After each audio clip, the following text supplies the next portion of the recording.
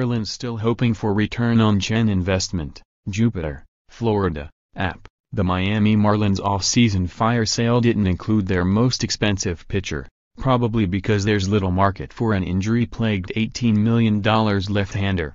So Wei-Yin Chen remains with the Marlins, a luxury they can't really afford. He began a throwing program in mid-January to rehabilitate his balky elbow, but is not expected to be ready for opening day. The Marlins hope he'll join their thin rotation at some point this season. Absolutely he's part of the plan, manager Don Mattingly said Thursday as the Marlins began their second spring training workout. The first part of that plan is just getting him healthy. It has been a disappointing couple of years for him because of the health issues.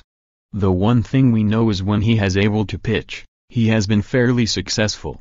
Chen was hailed for his durability when he signed an $80 million, five-year free agent contract with Miami in 2016.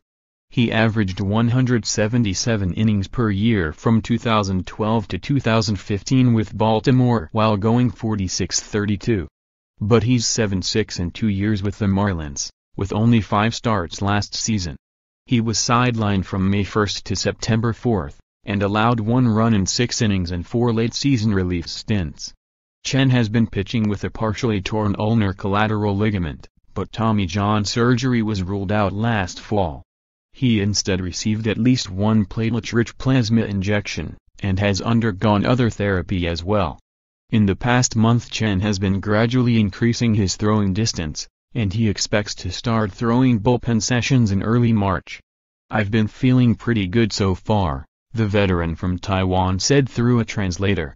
We're not rushing anything. The only thing I'm concerned with is to get my arm ready to pitch. I'm not concerned with whether I make it for opening day or not. The Marlins are desperate for pitching, with only two starting spots settled, and more than a dozen unproven candidates for the three other jobs and they'd love to get more return on their Chen investment. The $18 million he'll receive this year makes him the Marlins' highest paid player, and they owe him $20 million in 2019 and $22 million in 2020. Those numbers are especially eye-popping for a team that traded away its entire outfield this winter after CEO Derek Jeter deemed the roster he inherited unaffordable.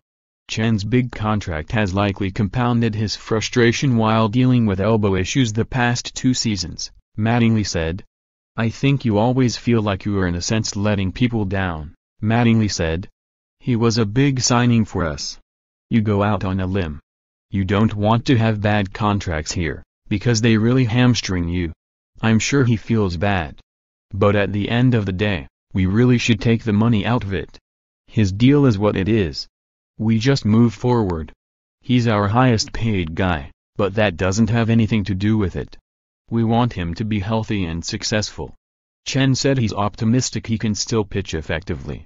After the past couple of years, I'm trying to look at things positively, he said. I'm trying to have a fresh start, and I'm really looking forward to the start of the season. He just doesn't know when his season will start. Underscore more AP baseball https colon slash slash apnews.com slash tag slash mlbaseball